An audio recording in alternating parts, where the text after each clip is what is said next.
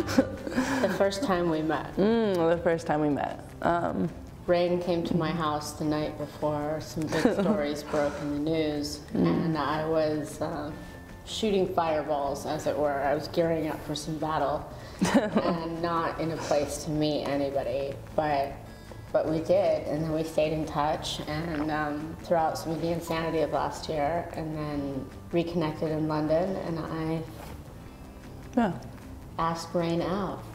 Yeah, they actually, may I tell a little bit of that? So I, I met them after the, um, after the Barnes & Noble incident and they went to meet with Stonewall in order to, um, you know, heal with the community and, and get on that track and just kind of explain their position and where they were at. One person was just incredibly, incredibly con like condescending. Um, at the same time, I was just really proud that this person was just sitting there taking this heat and taking these waves of fire from someone else, and yet they were so determined to just make things right.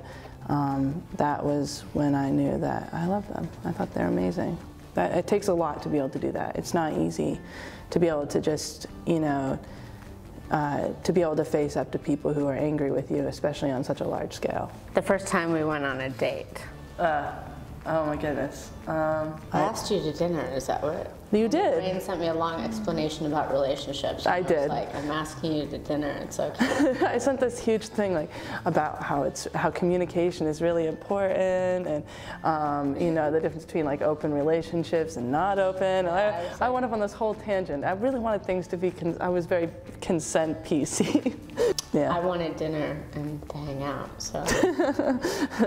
I don't remember where we went to dinner though. Mm, we went to that place that you really like, um, the Italian place. Or it wasn't an Italian place. It was a um, the place where you got the, your French onion soup and the. Oh, yes. Mhm, And I showed up with a bottle of pink champagne.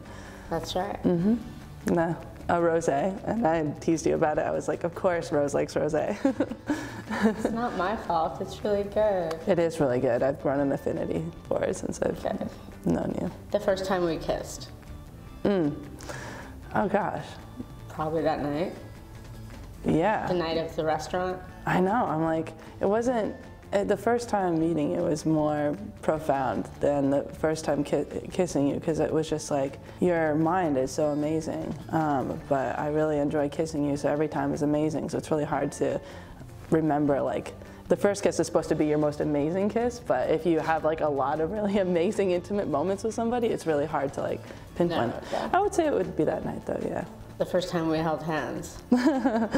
Actually, I love that I'm the one that asked the question. I feel like I'm getting grilled.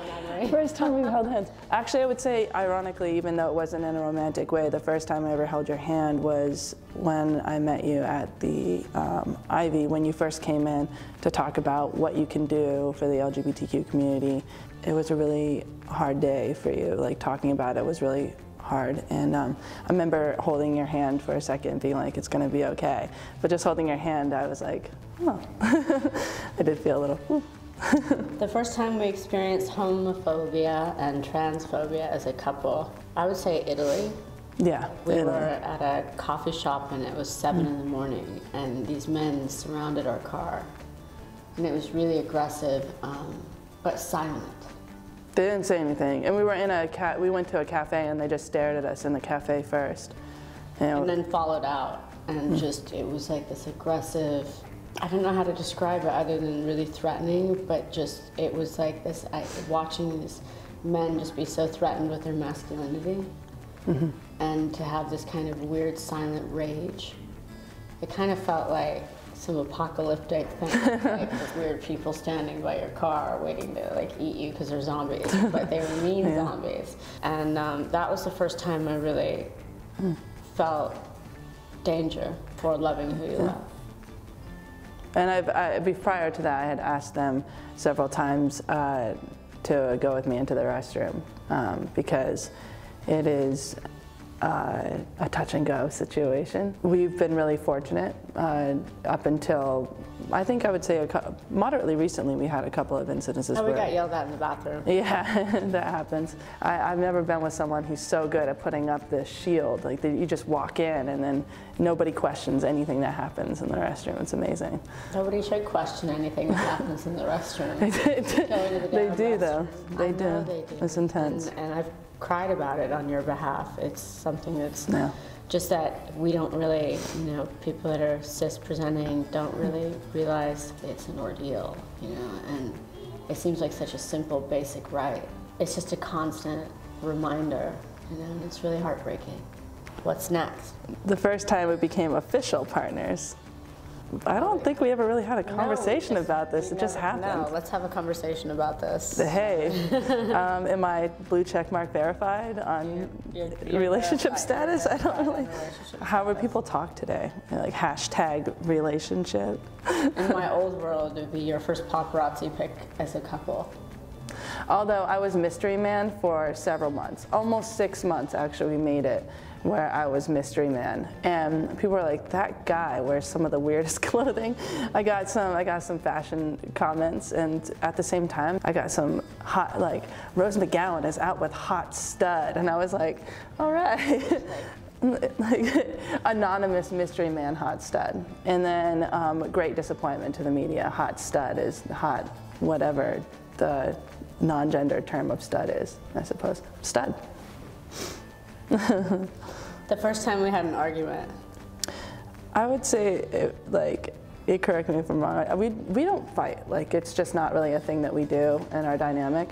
We had a misunderstanding one time. That's about the closest thing i would say we got to it. It was, it was one time where they had an overwhelming week and i tried to shower them with cute date concepts that i didn't realize were overwhelming. I took them to a planetarium and it was a disaster because there were lots of screaming children there and i didn't realize it was going to be so screamy. I had Um, a panic attack in the in the um, in the music in the planetarium's gift shop. I hid behind a curtain in the gift shop and waited. It was good.